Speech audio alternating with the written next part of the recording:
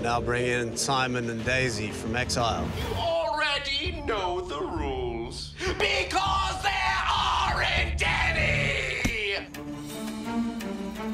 Jeez, Dennis, are you on coke? Of course there are rules. For today's challenge, you're going to use a long pole that you'll carry across a balance beam to maneuver it. It's time to do, do, do, do, do, do, do, do, do.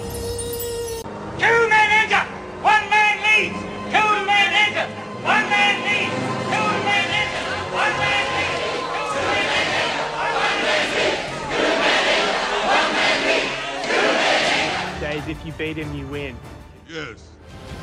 Three, two, one, and Simon wins his place back in the game. You have done very well.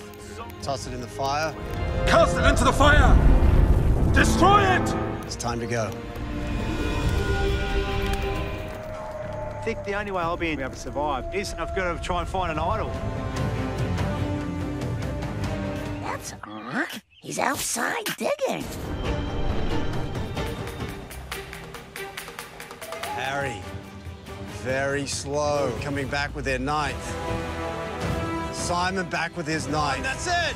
Luke wins individual immunity. Hot damn! What are you doing?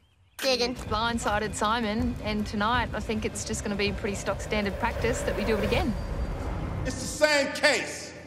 Do the same thing. We have to find someone who's open and willing to work with us. But we've got a window opportunity right now to use Simon to potentially get Abbey. Help! I need somebody help, not just anybody. And that everyone who's here tonight was also here last tribal. Deja vu, I've just been in this place before. Higher on the street. Um, Simon was voted out for a reason. Janine, what's your opinion? Is it business as usual tonight? I like business. It is time to vote. Let's kill him properly this time.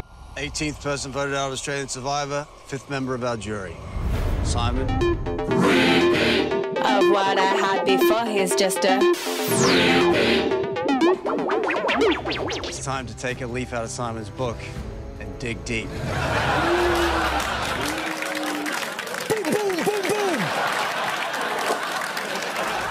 Torches, head back to camp.